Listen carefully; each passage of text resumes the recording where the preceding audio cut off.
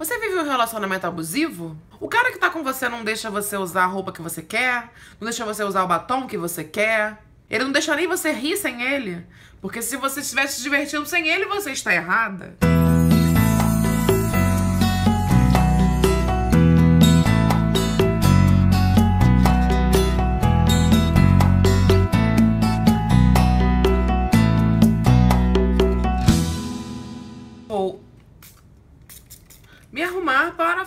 Com vocês, porque, né? Já fiz isso naquele vídeo do autocuidado, mas esse aqui é um outro vídeo que vai ter um momento também de autocuidado, um momento que eu vou o quê? Me cuidar, me mostrar, me... É, é falar com vocês, gente, é isso que importa. Então vamos lá. O que acontece? É, vigésimo dia da Maratona do Amor Próprio e já temos muita coisa, né, pra gente conversar aí, pra gente falar aí. A gente tá agora ligado no outro. A gente tá falando sobre a, a nossa relação com o outro, como, como, como está sendo essa relação aí. E eu fiquei pensando muito num assunto que eu não falei aqui ainda, eu falei ano passando, mas que vale a pena a gente frisar, que tem a ver com relacionamentos abusivos. A gente falou de pessoas tóxicas, a gente falou de a gente se proteger contra pessoas que que pesam no ambiente, né, que não trazem uma energia boa. Mas relacionamento abusivo chega a ser algo ainda maior. Não é só uma questão de ser tóxico ou não.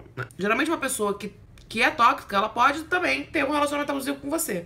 Mas com certeza uma pessoa que abusa de você num, num relacionamento, no, abuso aqui entenda-se não apenas por abuso ato sexual ou, ou violência física, abuso é verbal também, abuso é psicológico, emocional.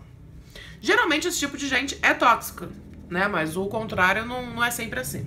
Por que, que a, gente se deixa entrar em relacionamentos abusivos? Tem muita gente que me pergunta isso. Ah, Alexandre, eu tô começando a me amar, né? E eu comecei, eu reparei que e eu reparei que eu me deixo entrar em relacionamentos abusivos, que eu, eu mesma me, me, parece que vou atrás de situações em que as pessoas são abusivas comigo. Por que, que eu sou assim? Por que, que eu sou assado? Eu fiquei pensando, cara, é, a gente. Realmente, será que tem vezes que a gente se deixa entrar em relacionamentos abusivos? Que a gente. Isso tá errado. Que a gente procura relacionamentos daquele padrão, como a gente já falou, de repetir, repetir padrões. Por que, que eu sempre ajo dessa forma? Porque eu sempre escolho uma pessoa dessa forma? Por que, que toda vez que eu me interesso por alguém é uma pessoa que me trata mal? Ou uma pessoa que isso e aquilo? Entrar em um relacionamento abusivo também pode ser um padrão repetitivo, tá? Mas a culpa não é nossa, nunca, nunca. Entenda isso, a culpa não é nossa. É, ninguém tá na, na testa escrito, eu, eu, eu terei com você um relacionamento abusivo. Não. É, ninguém está livre de entrar num relacionamento abusivo. Porque as pessoas, às vezes, elas se tornam abusivas. E elas não eram. Né? Não é fácil a gente perceber quando um relacionamento é, já vai ser abusivo. Então, assim, primeiro, não se culpe. Não se culpe por nada, tá? A gente tem que sumir, assumir as responsabilidades das nossas escolhas, mas não ficar se culpando, tá? É, a gente tem que assumir a responsabilidade das escolhas que a gente faz, mas a gente não tem que ficar se culpando assim. Não é assim. Alexandra, tudo bem, eu me, me coloquei num relacionamento abusivo, mas será que realmente é abusivo? Tem algumas coisas fáceis de a gente perceber se o relacionamento é abusivo ou não. Por exemplo, o cara não deixa você colocar a roupa que você quer. A roupa que você tá, ela é vulgar ou ela é roupa de piranha, roupa de puta. Se você prender o cabelo, deixar a nuca aparecer, isso já aconteceu. É porque você tá querendo se mostrar a nuca. Se você tá botando batom vermelho, como já dizia Juju, é coisa de piranha. Entendeu? É... São várias situações. E tem situações até um pouco que você nem repara que, que é um abusivo. Por exemplo, eu já sofri várias coisas assim. É, de eu querer muito numa peça de teatro. E aí meu ex chegou para mim e ele falou assim: Eu não tenho dinheiro, eu não posso ir com você, então você não vai porque você não pode se divertir sem mim. E eu me senti uma merda e eu concordei com ele. Eu falei: É verdade. Você é tão dependente da pessoa na tua cabeça e a pessoa te faz ser tão dependente que você não pode nem sorrir sem ele. É esse, é, é, é chega nesse ponto. Não é a pessoa chegar para você, se ela falasse de outra forma, for, existe outra coisa, tipo assim, poxa, amor, queria tanto ir nessa peça ver com você, porque a gente só fala disso junto. Pô, seria. Você pode ir, mas depois vamos depois comigo de novo, porque eu queria ir com você. Tudo bem. É uma outra situação. Mas você não pode rir sem mim? Eu ouvi essa frase, amor. E sabe qual é o pior? Concordei com isso. Concordei e me achei uma merda. Me achei uma tola. Porque quando você tá num relacionamento abusivo, você se sente uma merda. Você se sente. É, você sente que você não. Ninguém nunca mais vai gostar de você. Que só aquela pessoa gosta de você. Que você não é digna de amor de mais ninguém. E que você. Sorte a sua de ter aquela pessoa na sua vida. Porque se não fosse ela, ninguém mais chamaria. Será? Eu tenho uma amiga que ela já viveu um relacionamento abusivo e que. Enfim, o cara fez dela gato e sapato. Ele não falava pra ela que, que, que era namorada. Do... Ele namorava com ela, mas não falava pros amigos que, que ela era namorada dele. E, e, e falava na cara dela, tipo assim, namorando eu, tá louco. Eu tô namorando, não. Eu. Ela pode estar, mas eu não tô. Falava na cara dela. E ela foi engolindo, engolindo, engolindo, porque, porra, se apaixona pelo cara. Não, não vamos. Não vamos pensar na, na pessoa, por que, que ela aguentou isso e aquilo. Não, não, vamos, vamos julgar a vítima, vamos ver o contrário, tá? Aí ela foi engolindo, engolindo, engolindo. E até que simplesmente ele terminou com ela. E ela tá se sentindo uma merda. Ele terminou com ela, falando mil coisas, botando a culpa nela. Ela acredita que a culpa de tudo é dela. E simplesmente ela tá sozinha. Ela ficou sozinha na época. Se sentiu uma merda. E queria morrer, se matar. Porque a vida dela era aquele cara. Tudo que ele falava era, era, era lei, era ordem. E se ele não deixasse, ela não fazia. É como ela não tinha uma estrutura familiar junto com ela, ela não tinha, e ela não conseguia falar com os amigos nem nada, ela não tinha mais chão, ela não tinha mais onde pisar. Sabe quando você não sabe por onde você pisa? Porque o seu chão era aquela pessoa, você não sabe onde pisar mais. Eu já passei por isso também, de terminar um relacionamento, depois que eu reparei que era abusivo, esse relacionamento que eu falei que o cara não deixava eu rir. Simplesmente eu não sabia mais onde pisar, eu não sabia o que fazer. Calma aí, eu tô andando com esse cara aqui o tempo todo e eu não e agora? Onde é que eu piso? O que, que eu faço? A primeira coisa que eu quis era morrer. Eu pensei, não tem sentido a minha vida.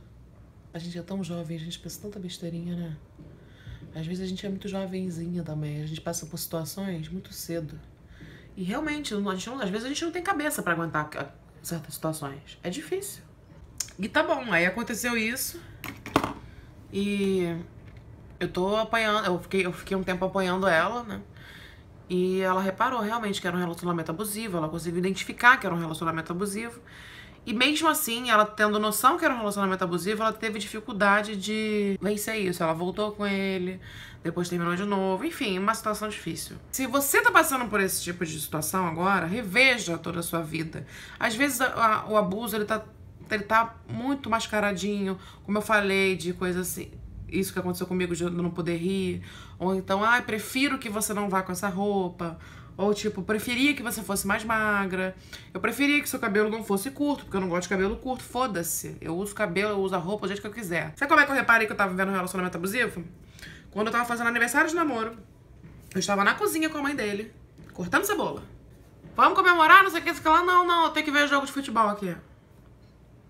Mas eu queria comemorar. Não, não, eu quero ver jogo de futebol aqui. Aí eu, tá bom. Mas a gente não vai nem sair pra comemorar? Não, não. Hoje não.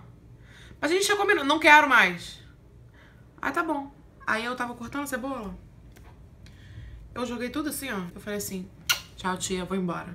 Por quê? Porque seu filho, seu filho é uma pessoa que não me respeita. E eu me respeito, então eu preciso ir embora. Peguei a porra do ônibus e fui embora.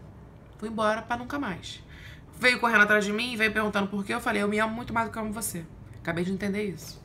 Foi um clique que deu na minha vida, gente. Foi abençoada. Eu fui abençoada por Deus nesse momento. Acorda, minha filha. Acordei. E foi isso. E foi maravilhoso. Terminei gostando da pessoa. Você acha que eu não gostava dele? Amava. Só que eu gostava mais de mim. E eu ninguém falou nada para mim, gente. Foi totalmente uma coisa que. A iluminação que eu tive mesmo. E eu agradeço muito a tudo que me iluminou. Tudo isso foi essencial para eu ser quem eu sou hoje. Eu agradeço tudo que eu passei porque tudo isso me formou hoje. E hoje em dia, se a pessoa chegar e começar a falar que não gosta disso, não gosta daquilo, e que prefere isso, prefere aquilo, eu falo assim, meu amor, beijo, eu não, não quero, não preciso. Sabe por quê? Porque o relacionamento comigo mesma é maior do que tudo isso.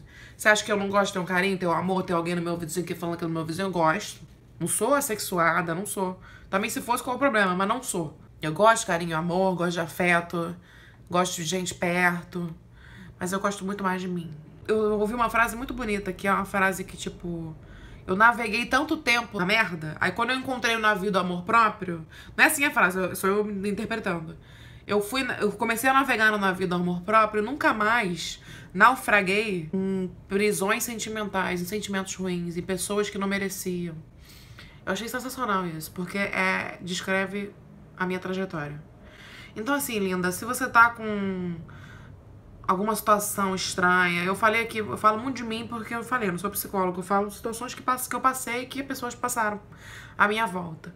Relacionamento abusivo é muito mais. Vou deixar até o link do vídeo da Juju aqui para vocês verem, porque esse vídeo dela é referência realmente no assunto e vale muito a pena. Ela dá outras situações, ela entrevistou pessoas, é bem legal. É, mas acorda, sabe? Acorda a pensar e não acho que não vai doer, porque vai doer. Claro que vai doer tirar uma pessoa da sua vida, terminar um relacionamento, terminar um casamento. É porque é muito fácil se acostumar com a dor, com o sofrimento. A gente se acostuma com o ruim. A gente se acostuma com o sofrimento. E eu, a gente tem medo do desconhecido. Como assim eu vou ter que agora viver sozinha? Eu não vou ter mais um marido, eu não vou ter mais um namorado? O que eu vou fazer da minha vida? A gente se acostuma com o ruim, sabe? Antes mal acompanhado do que só? Não. A sua companhia tem que ser a, sua, a, sua, a melhor companhia, de maior, maior qualidade. É a sua companhia, porque ela que vai ser a maior, a, em maior quantidade também, porque é o tempo todo. E se deu o respeito, o que é se dar o respeito? Não é você tirar o batom, não é você tirar a roupa. É você respeitar quem você é. E exigir que as pessoas que estão com você, que estão contigo nessa vida aqui, elas te respeitem também. Porque você se respeita. Entendeu? Eu espero muito que esse clique, que essa benção, vou te dar a benção aqui, ó, do clique. Que o clique do, do, do amor próprio ali aconteça. Vamos, vamos lá. Tem a benção do lacre, tem a benção do amor próprio agora.